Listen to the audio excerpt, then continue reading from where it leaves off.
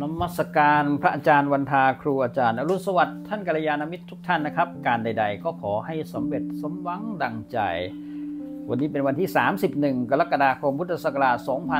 2566 ตรงกับวันจันทร์ขึ้น 14ค่ำเดือน 8 ปีเถาะ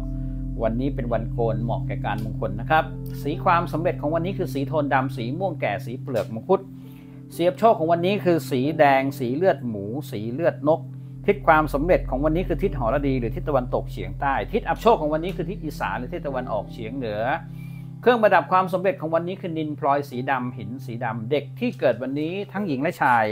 ไม่ควรมีอักษรที่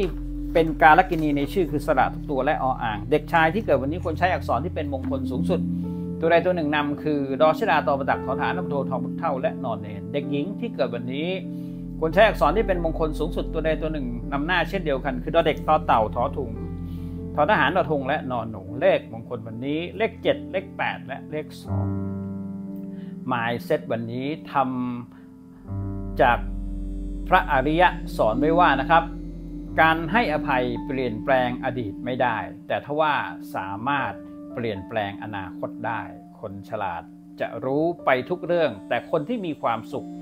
รู้เฉพาะเรื่องที่ควรรู้ ขอเป็นกำลังใจในการเริ่มต้นวันใหม่ให้กับทุกท่านนะครับ เสียอะไรก็เสียไปแต่อย่าเสียกำลังใจ มีปัญหาชีวิตคิดอะไรไม่ออกบอกอาจารย์ไก่ขอบคุณและสวัสดีครับ